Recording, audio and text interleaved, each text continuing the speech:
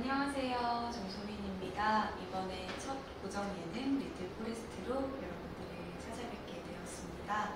찌빠골의 아름다운 풍경과 사랑스러운 아이들이 함께하는 힐링 예능인데요. 여러분들께도 아이들의 수치함과 사랑스러움이 잘 전달이 되었으면 좋겠습니다. SBS 월요일, 화요일 10시에 여러분들 찾아가니까요. 많은 기대와 따뜻한 응원 부탁드립니다. 감사합니다.